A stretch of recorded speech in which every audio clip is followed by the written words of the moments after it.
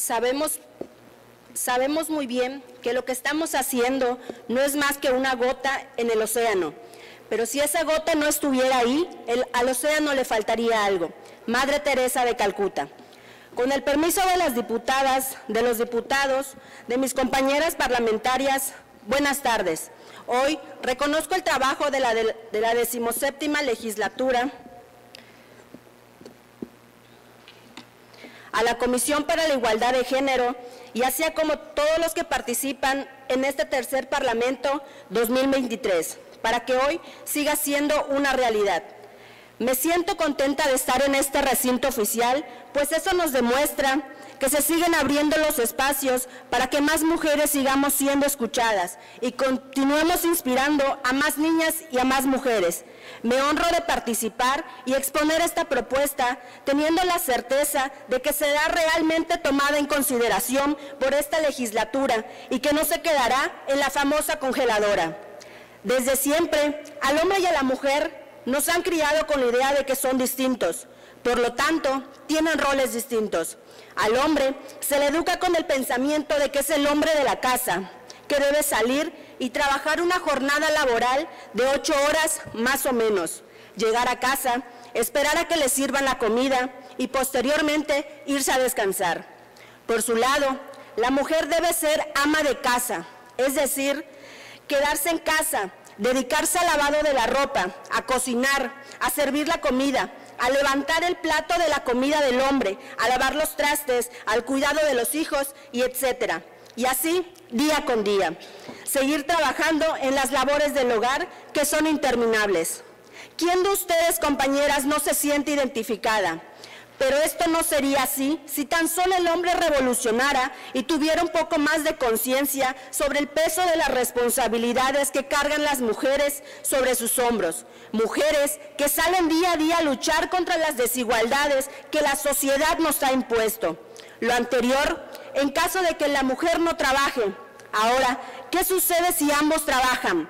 Bueno, entonces la mujer estaría enfrentando un doble turno laboral.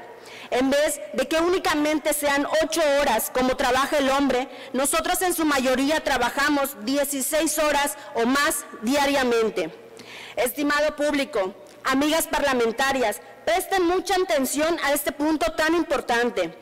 ¿Cuántas de nosotras no crecimos con una abuela, con una mamá, con una tía, con una hermana, que después de tantas horas trabajando terminaban agotadas, esperando en casa con los hijos limpios, listos a esperar a que papá llegara? Por eso hoy alzo la voz y les vengo a platicar de mi propuesta sobre la responsabilidad compartida, es decir, las tareas compartidas, para que hombres y mujeres desde casa se repartan de manera equilibrada las tareas domésticas, el cuidado, la educación y el afecto de las personas dependientes dentro del hogar. ¿Cuántas veces no hemos leído sobre la igualdad entre el hombre y la mujer e inclusive las leyes para lograrlo? Pero en realidad es que casi nunca se aplica en la familia, por lo que se debe integrar el término de corresponsabilidad, es decir, las tareas compartidas para que las instituciones públicas dentro de sus programas de capacitación y educación las incluyan y para que el hombre sea educado de manera distinta y así cumplir con su responsabilidad dentro de la familia.